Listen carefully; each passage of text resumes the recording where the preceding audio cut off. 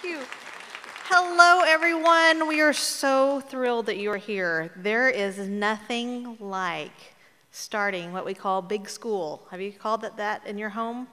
Going off to kindergarten, we call that, we've heard that, the big school. The yellow buses start rolling, the parking lots start filling up, and before long, you are going to have a kindergartner starting at our um, great elementary schools, and we're thankful to have you.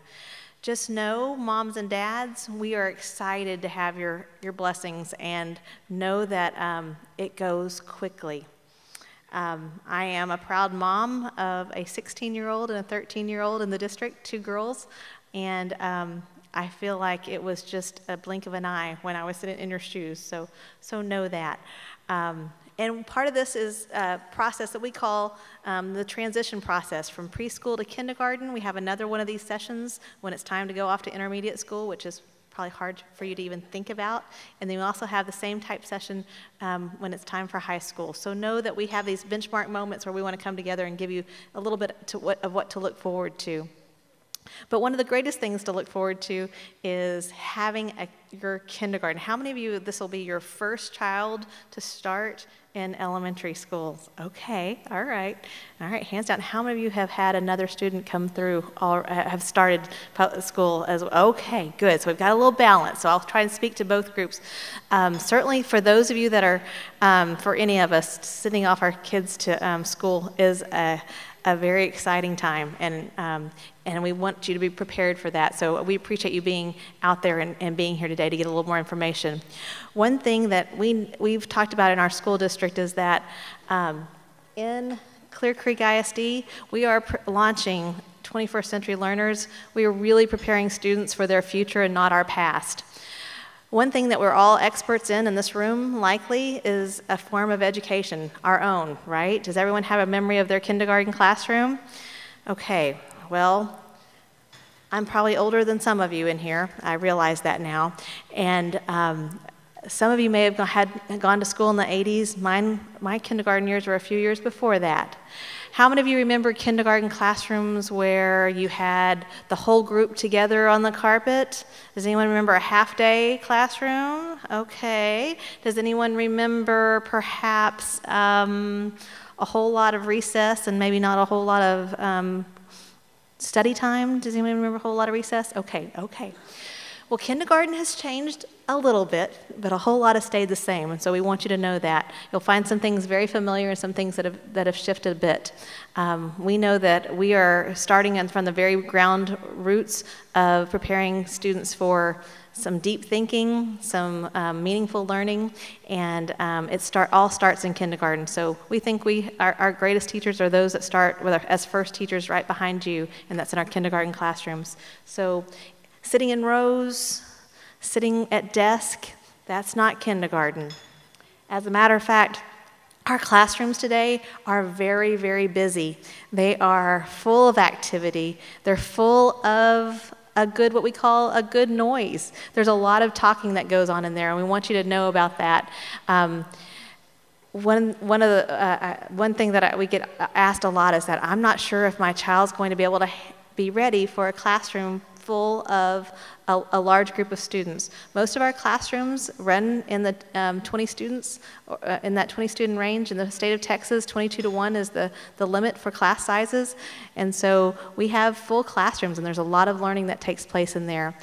Um, likely you'll see one thing that's shifted is that we have a lot, we do have large group time with students. We also have a lot of small group time. As the kindergarten year spins on, we do a lot of assessment of students, individual assessment to know where they are as readers, writers, and mathematicians. And we have small group instruction based on those needs. We have students that come into kindergarten that are already reading we have some students that come into kindergarten that are just learning their letters, and each are okay.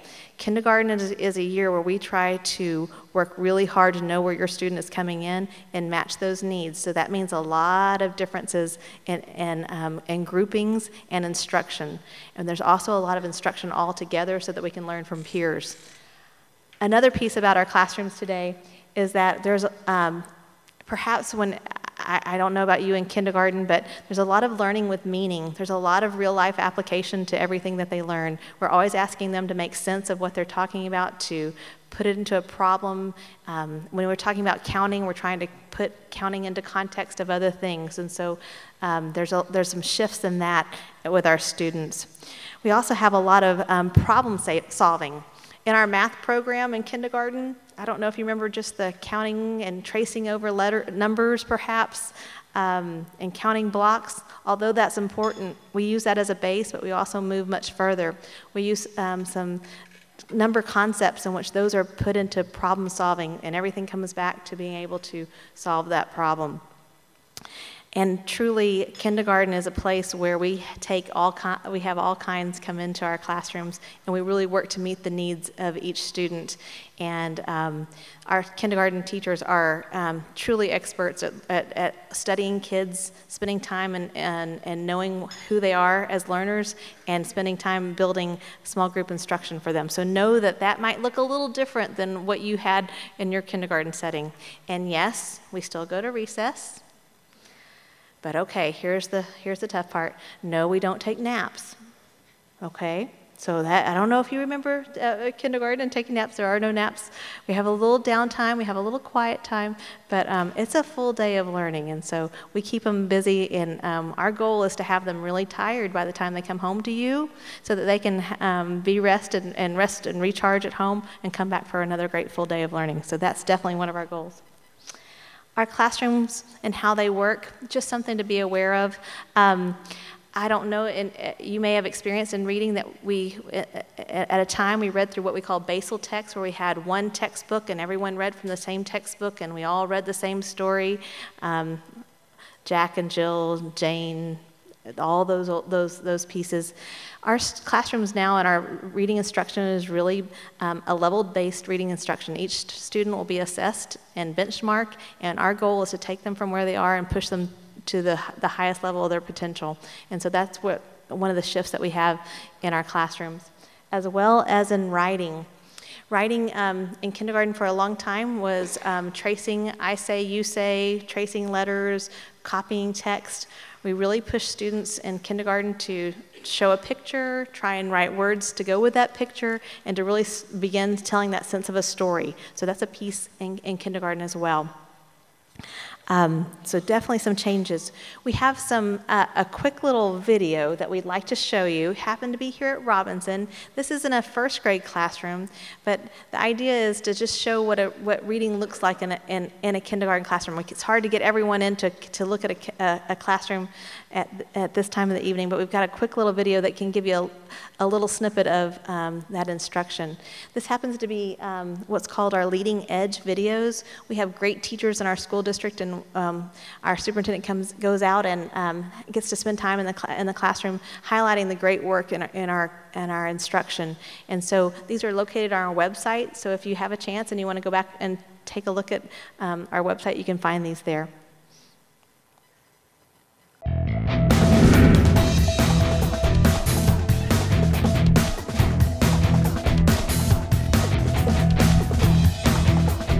To retell the story after it's all done and what it really means. They're just throwing a fit and then they're like, and then when mama comes in, they're happy and nice. So they think that. All right, readers, so all week long we have been working on figuring out tricky words, stopping and thinking about what would make sense, reading parts of a text, and then stopping and thinking about what it was about. Reader's Workshop is underway in Jenny Toop's first grade class. Because when you really know what the author was talking about, you can understand your story better. better. That's right. These Robinson Elementary students are learning more than how to recognize words. And it's a five to 10 minute um, skill lesson that I'm teaching into. So like today it was talking about what your story is really about. And you could see his um, little, um, his spike things turning a little red. What does he do next when mom comes in to turn off the light? He acts nice and pleasant. Turn and Talk gives students the chance to try out their new reading skill. They're just throwing a fit and then they're like, and that way they can kind of bounce ideas off of each other and sometimes it leads us to the you know the more well-rounded answer than if we were to do it on our own. Back at their desk, they choose books from their personalized reading baskets. And then they saw a snake Oh my gosh. Why did you pick that book? because it's kind of fun, like on the adventure. Students can pick any book as long as it's on their reading level. If they're in books that are too challenging, they give up. It does they lose their meaning. It doesn't make any sense at all um, because they've stumbled through so many words. Just Right books give students just the right amount of work. That's awesome. Good good thinking. When the timer sounds, buddy reading begins. Like flying and swimming. The bird wants to swim, and the and the fish wants to fly because see, They really made a lot of connections with each other about stories coming from home or from a book, and they were able to relay it to another book. That was very, very powerful. Can you talk to me a little bit about how that has all come to be with respect to making sure that the students were able to make connections and feeling free to, to add those in there? Well, we do. Um, we talk a lot when we read. Reading isn't quiet in my room, and that's um, it was probably very evident. But it's it's about conversation. We're reading to learn, and then we want to share that. Highlighting her students' hard work is part of the process. And at the end of it, Joshua and Grace were discussing that this book was really about animals who wish they could be like other animals. And that was good thinking. Jenny Toop's goal is to create lifelong readers by using this innovative teaching method. I think ultimately it definitely makes them better thinkers, as you know, I'm better readers, and they have a passion for reading. My kids are very excited about reading, and I think that foremost is the number one goal as a teacher for me teaching reading. Readers Workshop. It doesn't just teach students how to read, it teaches them to love it. things that is so boring that they help want to start something new. Wow.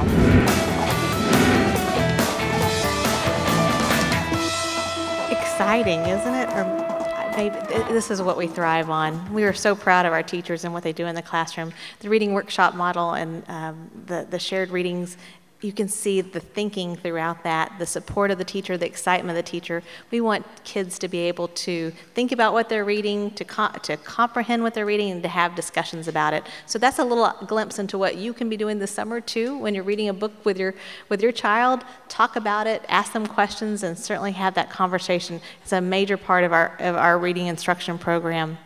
Okay, well certainly um, in math. This is the other question. So. We know about reading, but what about math? Math has shifted a little bit from our days of just counting. Um, perhaps you are already practicing with your children um, counting just out loud, one to, one to 20, perhaps singing a song up into 100. In, um, in kindergarten, we've gone away uh, quite a bit from worksheets and just doing the problems on worksheets. There, are, there is some of that, but a lot of it is manipulating, working with objects, and problem solving there and, and demonstrating that thinking. Um, with our, our uh, math curriculum, we will be having a new math adoption next year, and we'll be working with um, our teachers and our students to really bring home and show you what that looks like as far as activities that you can do at home to support them as well. But by the end of kindergarten, your students will be making um, certainly um, combinations to 10 to 20, counting on and problem solving quite a bit throughout the year. In um, reading, we we, we showed you a little bit of the reading text that they were doing. We get to what we call a level D is our expectation at the end of kindergarten for reading, um, and that's just the, the the expectation. We can go far beyond that, and we can work with those that are, are still struggling to get there. But that's our goal, and that is like a two um, a two line or three line text with some supportive pictures in that book. So just kind of want to give you that.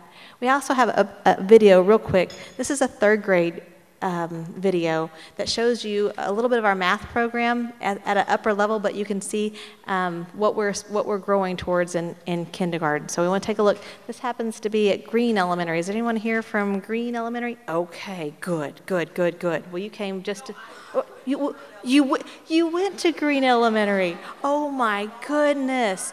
Okay, well let's see if this looks like the instruction you had back then. Okay, we'll see. We'll see. We'll give it a test.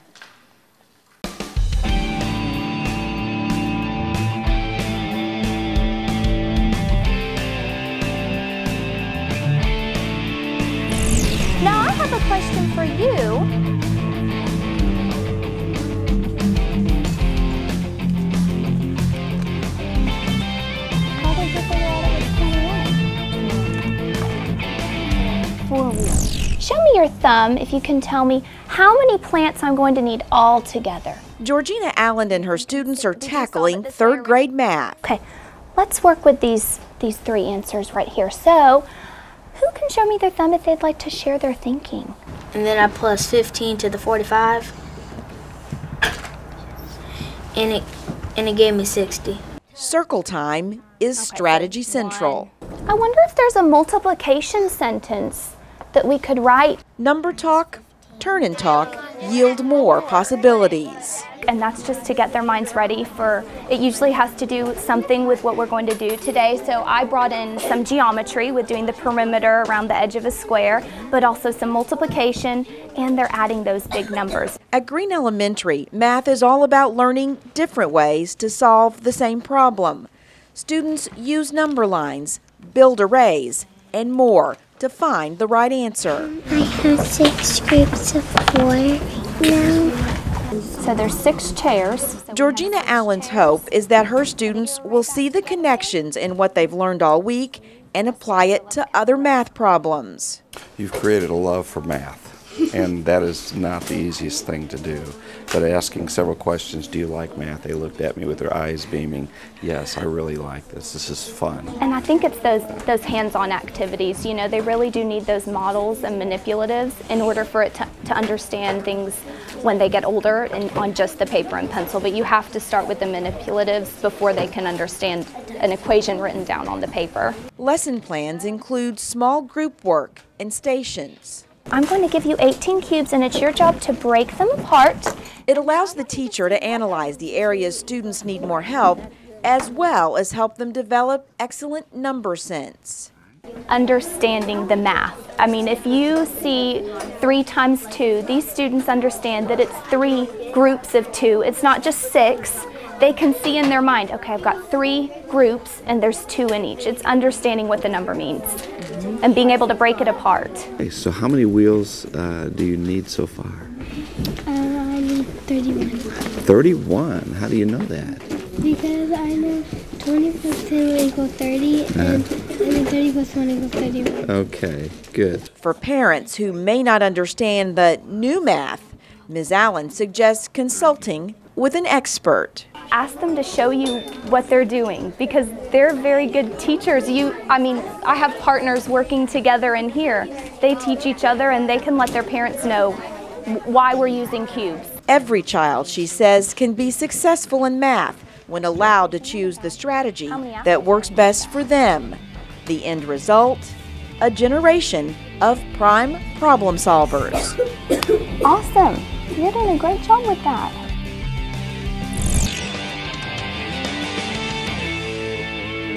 It's nice to get a glimpse into those classrooms a little bit further down the line. One of the, the, the main pieces that we want to show you from this is that it is beyond just computation and adding. It is we're moving much more towards that problem solving and understanding how math works. So you'll hear more about this from your teachers as you as you enroll. But we um, we're excited and we and we have a great program in store for you and your students. We have a few questions that come up with our first time um, students in, in Clear Creek and all about kindergarten. So, this might be a part that you really want to tune in for, and you may have some of these very same questions. We took the top questions that we get asked in the front offices and in our, in our offices all the time, and these are, are a few of those, so I want to cover what I can. First question is What is dress code for kindergarten? Have you, has your student already asked you that yet? You're, no? Okay. All of our students, um, we have free dress certainly for students. It's important, a couple of things, mom and dad, for you to think about the summer preparing for the school year. We want shoes that we can take on and off and control ourselves. So if we're working on tying laces, it's time to really work on tying laces this summer if we're going to send them off to school with those. If not, it might be a Velcro option for you. As far as clothes, this is a time for kindergarten for um, some transition from being maybe a little dependent on you for help for some things, because we as parents like to help a little bit. It's time to start transitioning over the summer to the fall to clothes that um, we can have easy access on and on, even in and out of those restrooms, because mom and dads are not going in the restrooms and helping them up and down with those clothing items. So we may look really cute, but make sure they're functional. Um, we do have PE and recess um, almost every day of the week. So um, please know that they're going to be um, moving about. So make sure if you're looking for shoes this summer that you're looking for shoes that they can do those activities in. Um, and your schools will tell you a little bit more about that. All of our schools are free dress. We do have a standardized dress code at Clear Lake City Elementary is our one that has um, a standardized dress code. Um, our school hours, you may have already seen um, our schools operating, but 8.15 to 3.15 are our, operating times. Most of our schools open up for breakfast around 7.45. We do offer breakfast um, uh, for a fee and also some um, on, uh, on a, a, sliding scales for, the, for those who qualify. But um, I would highly encourage you to have your students coming in the door by 8 o'clock in the morning and sometimes, if you've ever been around an elementary school at dismissal or arrival times, there are two times where the traffic is really rough, and it's those times. So plan accordingly. Um, but we're tardy by 8:15, and by 3:15 is when we start that dismissal and start um, that that taking off. And we, in the middle of the day, we do get a 30-minute lunch. So we'll talk a little bit more about that as well. Another top question that we hear is, "Can I visit the classrooms?" And because it's really, yeah, one of the most difficult things is to send them off to kindergarten, not know what happens throughout a day. We do provide opportunities for, for our parents to come up into our classrooms to volunteer and to help out. We also, though, ask, especially in kindergarten, that we start that transition process. I don't want to say detachment, but I would guess, guess that release process of parents releasing a little bit away and sending their kids on into the classroom so that they can become a little more independent themselves. So we do ask that um, if you want to visit a classroom, that you contact the front office, schedule it with a with the front office and the principal. Usually we'll stay um, if there's a lesson to be observed 45 minutes is about the time frame that we observe. It's about what we as administrators go into a classroom to observe, just so that the instruction can continue in the classroom for all, all the learners. We also get the question of how does lunch work? So we have the lunch room, um, the lunch line open um, back here for you to take a look at. But we have a lunch system in which you can actually pay for your lunches online and pay ahead, and you have an account. Uh, Ms. Polson mentioned that you have, will have a, a, an account number. Your student is going to learn a very long number, and that number is going to stay with them from kindergarten all the way through high school. So it's going to be a very important, we call it a PIN number, a personal information number. So that will be a number that they will be able to access their account and pay for their lunch, or they can bring their, their, their money um, each day. In kindergarten, we would ask that you think about um, paying ahead um, the money in a, in a larger amount if possible. I don't know about you, but coins or dollars in a kindergartner's pocket sometimes doesn't always make it to the destination that we hope it to. So um, we'd ask you to, anytime you could drop off money and or send money to, to the um, and through the office and to the cafeteria and, and definitely take care of that account. But the kids do get a 30 minute lunch each day that is with their classmates, sitting just like you are right now at a, at a, at a lunch table. This is our cafetorium, so this is our gym and our, uh, and our cafeteria area here. So they will come in and sit with their class. Um, the teacher does go off, and that's their 30 minute of free time of, of, of lunchtime for the for the teachers as well. But we do have monitors and administrators in the in the in the lunchroom throughout the course of the day. So so know that that's how that works. And of course, you can bring your your lunch. Just know that we also have um, a, a growing case of food allergies. If your student is one of those, or if you could just be mindful that that is a growing um, population in our schools. So we ask that you be informed about um, those food allergies and pack accordingly.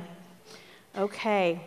And right into allergies. If your child does have allergies, and truly a growing, um, a, a, growing concern for a lot of parents, we have school nurses on each um, campus, and our school nurses work very t- closely with our cafeterias and our um, administrative staff to make sure that we're informed. If you have any information from your doctors, please make sure that the nurse is informed as well as your classroom teacher. Um, we want to know way ahead of time um, as close to school start, eh, before school starting, eh, the, the better, so that we can make sure we have a safe environment for your child. And then we always get this question too about do our kid, do our kindergartners get grades on their report card? Kindergarten is a developmental time, so we recognize that, and our grade, grading system um, represents that. We do not necessarily give um, in kindergarten. You won't see a hundred. You won't see a anything a 70, a 80. We have um, some different grading systems in, in the classrooms. The report card will show their progress on a continuum. And so know that when you get that report card, and your kindergarten teachers will be sharing that with you, just know that that's going to be coming your way. And then I know this is some of the uh, the older siblings and the younger siblings ask this too, even as much as the parents. Do kindergartners have homework? The answer is Yes, yes, yes, they do. We do have homework in kindergarten. Homework may not look what, like what you remember homework to be. Homework in kindergarten is always going to be reading with your child every night or having your child read to them, to you. It will be working with words, um, working with writing perhaps, um, practicing their writing. It will be counting, problem solving. Those are the types of, of homework that you will have in kindergarten. Now, this shouldn't cause you too much alarm. This is probably what you've already been doing as you're the great first parents at home that you've already uh, uh, teaching that you've been doing at home. So, um, but that will be reiterated in, in, kindergarten. And then typically we'll have a take-home reading system where we have a take-home reader that comes home and that you're going to be keeping a log and sending that book back Something that you can do this summer to get prepared is to find a space, find a, pro, a, a, point in your home where you can designate as that's the place where we start putting all of our things and start those systems. Our kindergarten students and all of our students truly, they thrive on structures, systems, and consistency. If you haven't had a child go to school yet, I would say it's time, and you can say, even Miss Hughes said, that it's time to start building that process into your into your daily system at home. We want them to know what to expect and know what that day looks like. Your day, your mornings will be much smoother, and their school day will be much smoother when they have those um, routines in place. Okay, let's take a look a great question. How can I volunteer on campus? I'm new to kindergarten, I'm new to public education, I'm new to Clear Creek, and I want to get involved. Boy, do we have great ways for you to get involved. All of our campuses have strong PTAs. Our PTA tables over there are some of our PTA councils, folks over there from um, our council. We're so thankful for them. Our parents make our schools a great place to be. They are um, hel- helping out in our classrooms and our schools day in and day out. I, I, we couldn't do it without them. So please, we'd ask you to plug in and get involved early. We have a lot of opportunities for you. So, yes, we have volunteer opportunities for you. And then, how does bus transportation work? A lot of questions come about about um, how, do, how do I know what bus or if I qualify for um, transportation. How many of you have found our website, clearcreekisd.net? Have we found that? Okay. There is something on there that's called um, a, both, a TransFinder, and, and you can plug in your address, and it will sh- share with you where, um, your, where your bus service uh, may, may lie.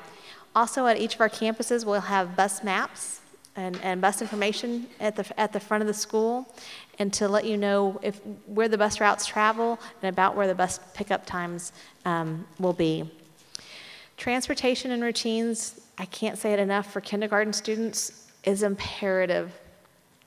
There is a moment where we um, dismiss out of some of our schools between anywhere between 500 up to almost 1,000 students within a 15 to 30 minute time period. We want our kindergarten students to know exactly where they're going every day and make sure we get them on the right path each day. Now, how many of you have your kids involved in multiple activities? Anyone have um, dance or scouts or karate or daycare or things of that going on? Okay. One thing that you can help us out with is coming up with that consistency after school and communicating with your teacher. When we have dance one day and, da- and maybe um, daycare one day and Girl Scouts another, it's it, it's, it's a, every day is a different process. One thing we want to do is make sure we get that real communicated to the classroom teacher and make sure we have that structure and system in place. So the first day of, um, even before you bring your child into school, we'll be asking about what those transportation plans are, and um, we'll help you with that along the way. I, this is another great question. What does the curriculum, kindergarten curriculum look like? You can access our year at a glance on, on our website under the parent page and curriculum, but you've gotten a little a preview to that today, and we've got some folks here who can talk to you a little bit more about that. Every day, our students spend time reading, writing, problem solving, and learning to be a strong community of learners. In kindergarten, we work as much as we stress the academics, we also stress learning to be respectful and have great character in a community and working with others because some, some of our, um, our, before we can learn, we've got to learn how to, to learn and control ourselves in, in, in, a, in a group, and that's equally important. So we spend time on, on behavior and social skills as well. And then what about if my child is already reading? I've already had some parents talk, t- touch base with me today. My child is already reading. What does that look like in kindergarten? We do have strong readers coming into kindergarten, and we also have readers who are struggling, who have, or kids who have not started reading yet, and that's okay. We take both. Um, with the reading, if they're already reading, we'll definitely be doing an assessment for your, each child, and we'll be working with getting them in a reading level and a reading group, and at, at the level in which they need to be challenged. And your school, uh, most of our schools have what we call a literacy coach, someone who focuses just on helping teachers with literacy, and they will be working um, with meeting your child's needs with that classroom teacher. And then what can I do to prepare my child for kindergarten? Have you ever searched that on Google? If I think if you search that on Google, you will find a million answers. But here are some of the things that we know that we would, and our kindergarten teachers would like for you to know that we would like for you to practice. Please practice writing their name, holding a pencil or a crayon. Those are that's a, a big piece of starting off the school year is just that practicing that name. Start it big in the sand, in the dirt. Start it with chalk, with paper, with um, uh, chalk, with highlighters, but practice writing that name. Doesn't have to be perfect. We're just getting that motion to those letters down. Also, more than even more than that, we want you to read to them often. The research shows us that the more that our students are and our, our earliest learners are exposed to reading by their parents and at home outside of the school set, setting, their um, academic progress is greatly impacted. So we want you reading with them often. Doesn't matter what you sound like, it doesn't matter what the book is, but we want you reading with them and, um, and, and, and sharing in that conversation. Um, talk about what happened in the story, whether they liked it or not if you can give them some of your favorite books or, or, or have their favorite books of their own, that will foster their independence as well. Visit the library. We have great library summer programs that are taking place in all of our local communities. We'd love for you to be in touch with those as well. Practice putting puzzles together. The uh, the motor ability to be able to find motor ability to be able to work a puzzle may not be something that you've been doing at your home lately, but it's a, a great fine motor skill for our students coming into kinder and practice counting aloud. Practice counting aloud from 1 to 20, 1 to 25. Um, it's also important for them to practice matching objects with those numbers, so that's something that is important to do. Some of you, if you take your children to the grocery store, have them help you count the items in the basket or on the shelf, and giving them real world examples would be a great asset once again, from the, from the beans to the pennies to the Legos, multiple different objects and multiple different ways of counting. And here's the fun one. Uh, every kindergarten teacher would like for me to ask you to go ahead and within your supervision, allow them to hold scissors. you can have them try and cut Play Doh. You can have them try and cut um, small objects or soft objects, but just the control of paper and scissors, we will help them a lot. But if you want to, uh, under your supervision, not without you, but under your supervision, have them practice cutting would be great. Also, um, our kindergarten is moves really quickly. Um, if they're not not recognizing letters yet, practice with them, practicing uh, recognizing their letters and the sounds that those letters make and identifying them um, is a, a great piece as well. Sorting objects. Wow, we've had a change in our math curriculum this upcoming year. We're in kindergarten for a long time we did a lot of sorting and patterning. Sorting and patterning has now moved off the map in kindergarten, and we're expect, they're almost expecting it in the state of Texas for it to be done at home. So um, we have new curriculum coming in, in in math that's pushing beyond that. So a great thing this summer is to sort and to try and come up with patterns red, blue, red, blue, red, blue, blue, red, red, blue, blue, red, just to try those different patterns out. It's a great piece to try at home. And then also set, recognizing those simple sight words. Very simple. Those that the I, the A, the and, the the, those are those basic sight words will be a great um, asset for them and to find them in a book. I know as a parent, these are the things that I found out of all most important to read, read, read with them. Two of my favorite books with my kids back in their day, I guess, a few years ago, was Wemberly Worried. Starting off for kindergarten can be a stressful time for your kid. This is a great book that helps talk about that transition, that it's going to be okay when they transition away from mom and dad, that mom and dad are going to come back and um, they're going to be able to see them at the end of the day, and that school really is a great place to be and how to address the worrying. Also, the night before kindergarten gets them prepared in a nice way for that first start to kindergarten. One thing, another thing to help us out is to know their name, their address, and where they live, and their phone number. It's not, it's not too early. Um, sing a song, practice saying it, practice um, repeating it after each other. But it's an important thing that, um, that, that, that will help them start off their kindergarten year. Begin those bedtime and um, morning routines, those structures that we talked about yes, it's okay to go, send them to bed early, and it's, and it's important for them to start off their day with um, a good meal and a, and, a, and a, great start to day. We have kindergartners come home the first weeks of school very, very um, spent because we work with them in uh, many ways, and so. Um, they are excited, but they're also tired. So, those structures and getting them to bed to early will be important. And reinforcing those self help skills.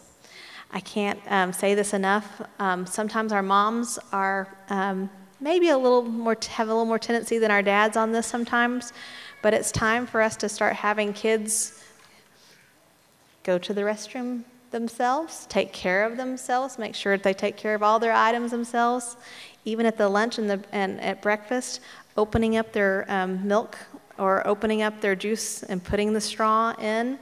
I know as parents, sometimes we think it's a lot faster if we just do it for them. We do it for them, we do it for them. Just know that this is the time, this is the summer to start pushing them to have those opportunities to, ha- to be able to do that and help themselves. Um, I think sometimes we, we try and get in a hurry and, we, and for the sake of time, we just want to, to help them and get it done. But if you could, with for anything from pants to skirts to shoes and laces to getting ready for those, um, those meals at mealtime, that, that will be a, a great help for them as well.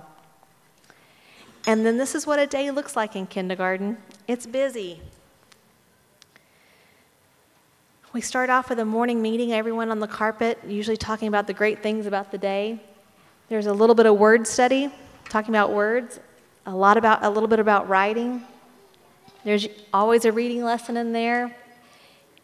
And then there's also typically a, a, writing activity where the whole group is helping build a class story and, and doing some writing together.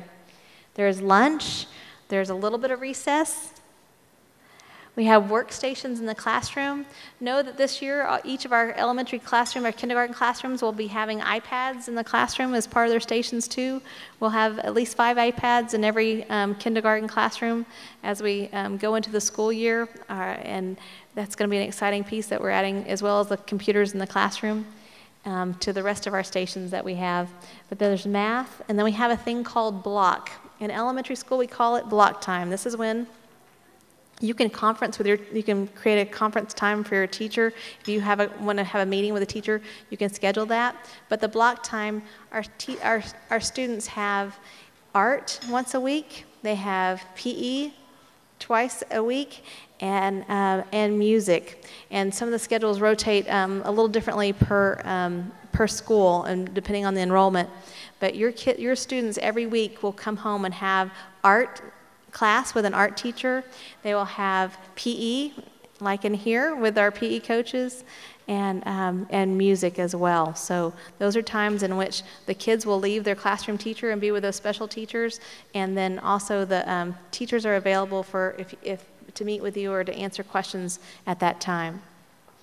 We also have in almost all of our kindergarten classrooms, there is a snack time, and your teachers will be telling you about how to pack that snack and what's, what's a good snack to bring. I don't think it's Cheetos or fiery Cheetos or anything like that. Nothing orange or crumbly. I don't think they're going to want that, but healthy snacks for sure.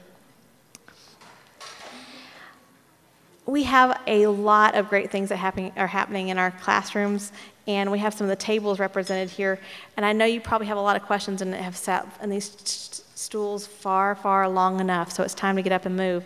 But um, some of the things that we have more information at the tables for you are, um, are those art, those block classes that we talk about, that block time. And that's art, music, and PE. They're tables that are represented in the back, as well as our child nutrition. We want to invite you to take a look at our um, cafeteria line in the back and take a look at that.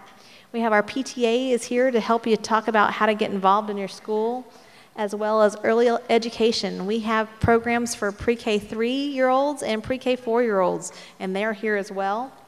Our libraries, our libraries are an important part of our schools. Um, your child will be checking out library books, and um, our librarians are here to talk to you as well, as well as special education services, and I know everyone was drawn to our technology over there as well.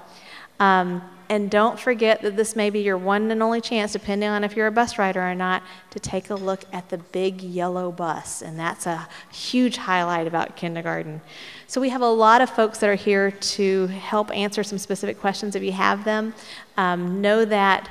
Um, this is the beginning of a great path and a great connection with our school district, and we are so thankful that you've chosen to have your child attend Clear Creek ISD, and it's going to be a great 12 years with you, and we look forward to that. Um, if there's anything that we can do to help you, please always speak up. There, um, people are willing to help, um, but communication is our, our greatest asset. So please make sure that um, you ask questions and we can answer them to, um, to make your transition a great one.